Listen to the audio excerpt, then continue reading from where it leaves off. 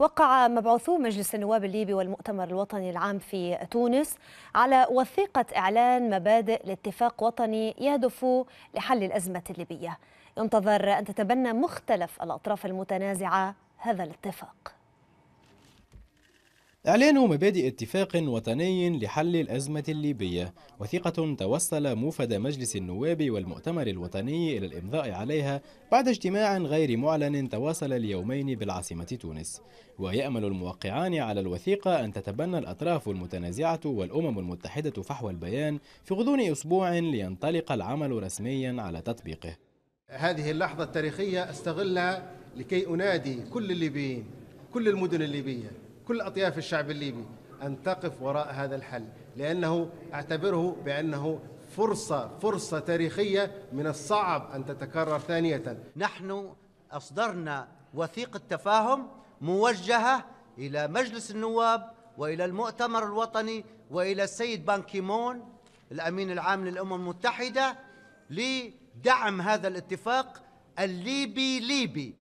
الاتفاق ينص على العودة للدستور الليبي السابق لحل مشكلة السلطة التشريعية وتهيئة المناخ العام في البلاد لإجراء انتخابات خلال مدة أقصاها سنتان. ويقر الاتفاق تشكيل لجنة من عشرة أعضاء لاختيار رئيس حكومة وفاق وطني يكون له نائبان أحدهما يمثل البرلمان والثاني يمثل المؤتمر الوطني. ويأتي هذا الاتفاق الذي وقع في العاصمة تونس في ظل تواصل إغلاق الحدود التونسية الليبية ومحاولة تجاوز برود العلاقات بين الجانبين التونسي والليبي. لجنة لاختيار رئيس حكومة وأخرى لتنقيح الدستور وعودة للاحتكام للدستور الليبي السابق. بنود اتفاق تغلب عليه النوايا الحسنة في انتظار اختباره على أرض الواقع. ليتبين مدى جدية تعامل الأطراف المسلحة مع فحواه.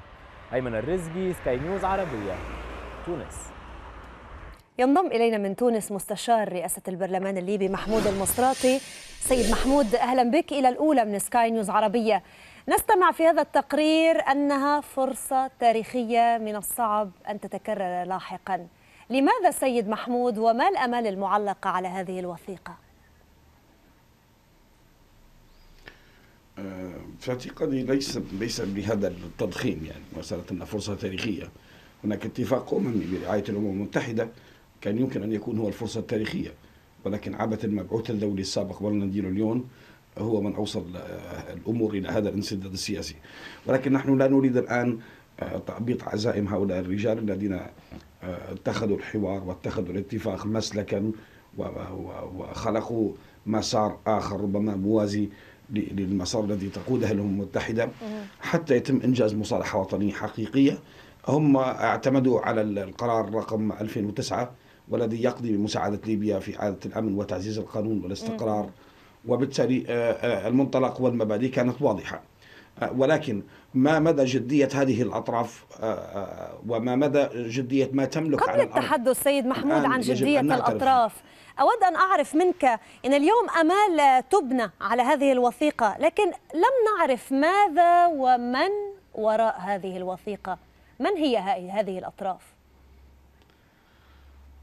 سأتحدث معك بصراحة نتواصل معي عدد من النواب مجلس النواب ليلة البارحة وأكدوا لي بأنهم أعتقد أربعة أو خمسة أعضاء من من مجلس النواب من ضمنهم السيد عيسى عريبي علي القطراني وبعض الشخصيات الأخرى. وقالوا لي حرفيا بأن عيسى عريبي طبعا قال لي بأنه نحن ندعم هذا الاتفاق ونحن نهندس له منذ فترة.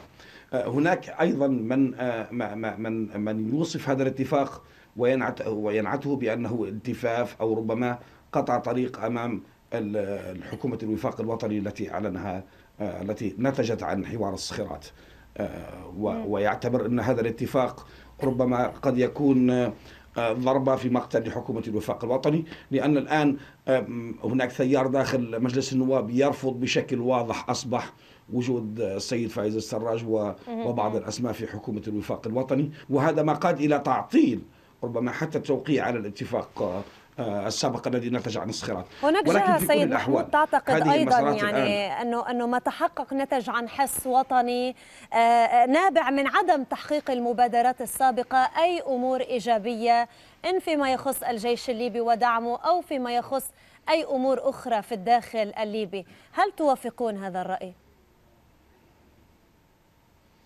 بالفعل بالفعل. لأن آه، آه، هناك مغالطة حقيقية. الآن الصراع في ليبيا ليس بين طرفين سياسيين لديهم يعني طرفان سياسيان لديهم قوة على الأرض تتقاتل وبالتالي إذا اتفق هذان الطرفان السياسيان ستنتهي الأزمة على الأرض سينتهي القتال. العقد انفرط الآن في ليبيا. هناك أطراف سياسية امتضت ميليشيات مسلحة خلال الفترة الماضية بما يعرف بقسوة فجر ليبيا. الآن الأطراف السياسية ذهبت إلى الحوار والميليشيات ما زالت ترتكب الجرائم داخل العاصمة طرابلس. لا توجد أطراف سياسية حقيقية في في الأزمة الليبية في في خارطة الأزمة الليبية لديها القدرة على السيطرة على الميليشيات المسلحة الموجودة على الأرض. وبالتالي هنا الأزمة وبالتالي لن ينتج عن أي وفاق وطني ما لم يكون بقوة المجتمع الدولي وما لم يكن هناك آه، آه، آه، نية ورغبة واضحة في في في تحييد هذه الميليشيات المسلحة الموجودة على الأرض وتجريدها من أسلحتها لا يمكن طيب. أن ينتج عن أي حوار أو ينتج عن أي مبادرة وفاق وطني حقيقي أيضا هناك مشكلة أخرى وهي قد قد تعيق أي وفاق وطني قادم الاختلاف الآن على. تسمية نعم. بعض المجموعات والعناصر بأنها إرهابية هناك أطراف سياسية ما زالت تصر إلى غاية اليوم وتقول بأن من يقاتل في بنغازي هم ثوار بينما من يقاتله الجيش الوليد في المنطقة الشرقية في بنغازي هم هم داعش هم إرهابيون طيب في ظل كل هذه الإشكالات سيد محمود يعني بنود اتفاق تغلب عليها النوايا الحسنة كما قرأها البعض. كيف يمكن التعويل على نتائج أو نجاح هذه الوثيقة قبل اختبارها على أرض الواقع؟ حقيقة الأماني كبيرة جدا الأماني كبيرة جدا ولكن نحن نصطدم بواقع. آه الآن خرجت أصوات بالأمس اتصل بي المتحدث الرسمي عبر عبر آه صديق مشترك آه، حاول اتصال بي المتحدث الرسمي لمجلس النواب السيد فرج أبو هاشم وأرسل لي حتى عبر آه، هاتفي أرسل لي تصريح آه، أن هؤلاء الذين أعلنوا عن مبادئ الاتفاق لا يمثلون إلا أنفسهم. وبالتالي الآن الخلافات أصبحت داخل مجلس النواب والخلافات آه، آه، كما كما نعرفها داخل المؤتمر الوطني العام. وبالتالي الأطراف نفسها لم تتفق الطرفين أصبحوا آه، مجموعة أطراف. هذه الأطراف يجب أن تتفق فيما بينها وتذهب في في أن تكون طرفين ويجلسون على وثيقة حوار حقيقية مسودة وفاق وطني حقيقي. تنهي وتهتم بكل طيب سيد ما يتعلق محمود لكن التطورات في الأخبار في يعني أوصلتنا كنا قد قرأنا منذ قليل تطورات الأحداث.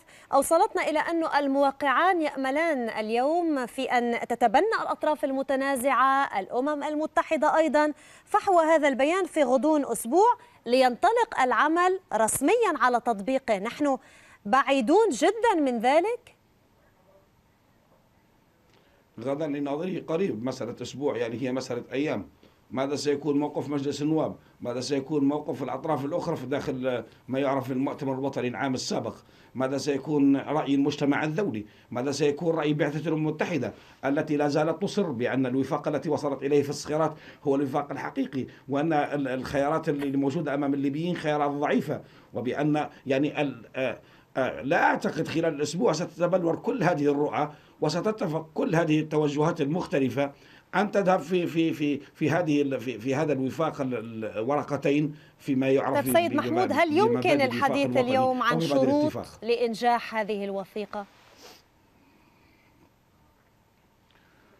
أه، في اعتقادي إذا كانت هناك رغبة حقيقية نعم. ليس من المؤتمر الوطني فقط أو أه، ليس من البرلمان فقط من كل الليبيين المسألة الآن هناك طرف ثالث داخل الأزمة الليبية من يتصارع على السلطة الآن نسى أو تناسى ما حذرنا منه قبل سنوات.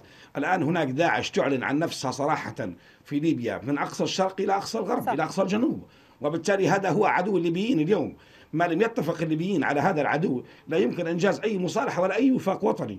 ولكن إذا كان اللي مختلف معاه سياسيا قاعد يقول لي على آه، أبو وهيب السوداني وأبو منذر التونسي وأبو آه، آه، قيس السعودي الذين ينطوون تحت تنظيم داعش. نعم. يسميهم ثوار وبأنهم لديهم مبادئ ولديهم مكتسبات الثورة المجيدة. لا يمكن إطلاقا أن نصل إلى وفاق قبل انتهاء وقت هذا اللقاء سيد محمود. لابد من التوقف أيضا يعني يعني تزامنا مع صدور هذه الوثيقة. كان في حديث لأمين عام حلف الناتو يقول فيه أنه من المقرر عقد مؤتمر دولي في الثالث عشر من الشهر الجاري في روما لإعطاء زخم لبنود هذا الاتفاق وهذه هذا هذه إعلان لنقل إعلان المبادئ.